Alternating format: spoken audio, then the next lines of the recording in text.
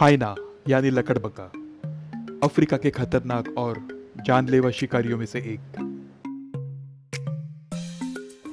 Wolf, यानी भेड़िया, दुनिया के कई भागों में पाने जाने वाले चालाक और शातिर शिकारी।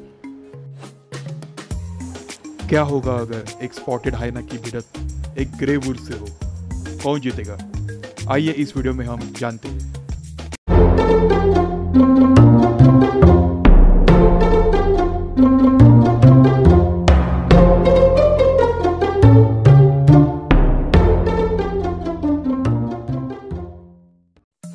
ये दोनों प्राणी ऑर्डर कार्निवोरा में आते हैं। भले ही कई लोगों को हाइनस जो है, वो कुत्तों जैसे लगते हो, पर इनका सब ऑर्डर फेलिफोमिया है। मतलब इनकी कई सारी विशेषताएँ बिल्लियों से मिलती है। स्पॉटेड हाइनस मध्य अफ्रीका से लेकर दक्षिणी भागों तक पाए जाते हैं और ग्रे वुल्फ दुनिया के कई भागों में पाए जाते हैं, जो पृथ्वी के इक्वेटर के ऊपर है, पर ये अफ्रीका में नहीं पाए जाते। स्पॉटेड हाइना का वज़न 40 से लेकर 60 किलो तक हो सकता है, जबकि ग्रे वुल्फ का वज़न 40 से लेकर 50 किलो तक हो सकता है। स्पॉटेड हाइना की खंधे तक की ऊंचाई 36 इंच तक हो सकती है, जबकि ग्रे वुल्फ के खंधे तक की ऊंचाई 33 इंच तक हो सकती है। स्पॉटेड हाइना के शरीर की लंबाई पैंसठ इंच तक हो सकती है, जबकि ग्रे वुल्फ की तिरसठ इंच तक हो सकती है। स्पॉटेड हाइनस में हमेशा मादा ही एक लीडर होती है, जिसे मैट्रियार्च या हाइना क्वीन कहा जाता है। जबकि वुल्फ में हमेशा एक मेल लीडर होता है, जिसे अल्फ़ा मेल कहा जाता है। हाइना और वुल्फ दोनों भी झुंड में रहने वाले शिकारी प्राणी है।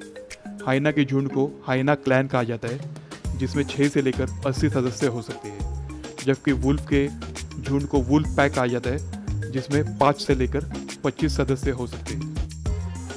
स्पॉटेड हाइना के कैनाइन दांत दो इंच तक लंबे हो सकते हैं और ग्रे वुल्फ के कैनाइन दांत ढाई इंच तक लंबे हो सकते हैं। पर स्पॉटेड हाइना के कैनाइंस काफ़ी मज़बूत और मोटे होते हैं। स्पॉटेड हाइना का बाइट फोर्स 1100 पीएसआई तक हो सकता है, जबकि ग्रे वुल्फ का बाइट फोर्स 440 से लेकर 500 पीएसआई तक हो सकता है। स्पॉटेड हाइनस की दौड़ने की रफ्तार 60 किलोमीटर प्रति घंटे तक हो सकती है, जबकि ग्रे वुल्फ के दौड़ने की रफ्तार 50 से लेकर 60 किलोमीटर प्रति घंटे तक हो सकती है।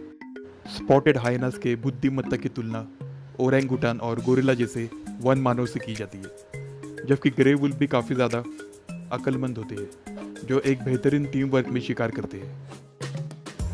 स्पॉटेड हाइनास और वुल्फ्स दोनों भी मांसाहारी प्राणी हैं और दोनों भी झूठ में शिकार करते हैं, पर स्पॉटेड हाइनास ज़्यादातर रात में सक्रिय रहते हैं और ग्रे वुल्फ ज़्यादातर मंद उजाले में शिकार करते हैं। स्पॉटेड हाइनास 12 साल तक ज़िंदा रह सकते हैं, जबकि ग्रे वुल्फ सिर्फ़ 8 साल तक ज़िंदा रह सकते हैं। तो अगर एक स्पॉटेड मैट्रियाज हाइना और अल्फ़ा मेल ग्रे वुल्फ में भिड़त हो तो कौन जीतेगा?